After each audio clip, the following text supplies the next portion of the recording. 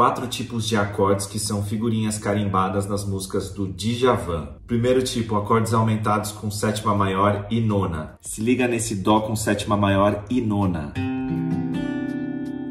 Segundo tipo, acordes com sétima e nona. Esse é um Dó com sétima e com nona.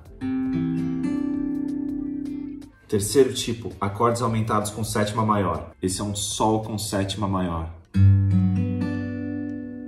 Quarto e último tipo é o acorde meio diminuto. Esse é um Si meio diminuto.